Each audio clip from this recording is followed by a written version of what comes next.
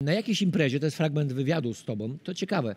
Na jakiejś imprezie paliłam z koleżankami papierosa, jeden z kolegów aktorów przyszedł i zaczął opowiadać, czego on nie robi, gdzie on nie grał, z jakiego planu teraz wraca, a ja na to szczerze, do niego. A chuj mnie to obchodzi. Tak. tak. Wiesz co, ja tak zawsze mówię. Poczekaj, ty tak zawsze mówisz? Tak. Czy jak córka wracała ze szkoły, mówiła, pan od biologii dzisiaj pytał mnie o Euglenę Zieloną, nic nie wiedziałam. A chuj to obchodzi! Nie. Córkę po pierwsze, e, e, córkę bardzo Ale córka kocham. ładna. Tak, ja wiem. Ona jest w E, e, Australii? Już nie, już w Polsce. Już jest w Polsce? Tak, tak, tak. Będę miał bliżej. Chodzi o to, że córk, na córce mi bardzo zależy No i tak, chcę się nie od niej tylko dowiedzieć. tobie. A ja, wiesz...